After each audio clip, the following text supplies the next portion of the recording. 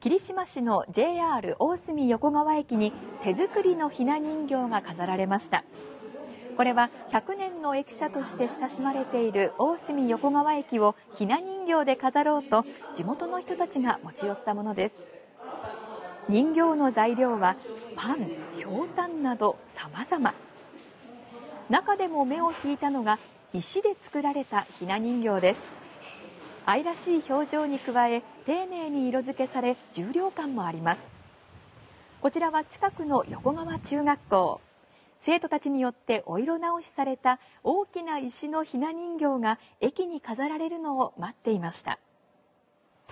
そして大隅横川駅では列車隼人の風の乗客が駅舎をめぐり人形と一緒にカメラに収まっていました。楽しみよ。